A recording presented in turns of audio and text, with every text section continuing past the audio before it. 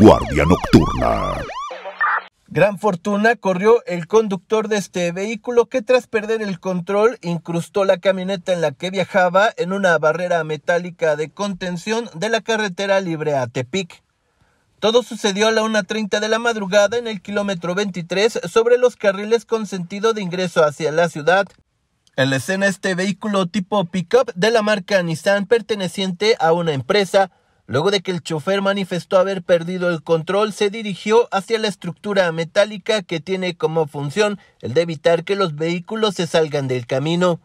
Sin embargo, al impactar a gran velocidad por el costado de la rígida estructura, esta terminó por incrustarse peligrosamente en toda el área del motor, quedando a unos pocos centímetros de invadir la cabina, lo que sin duda pudo terminar en una fatalidad.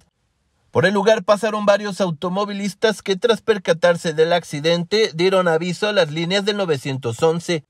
Elementos de rescate urbano de la Cruz Roja Mexicana respondieron el llamado y acudieron al lugar de los hechos en minutos. Sin embargo, a su arribo descubrieron que el conductor se encontraba a salvo e ileso afuera del vehículo esperando a su aseguradora.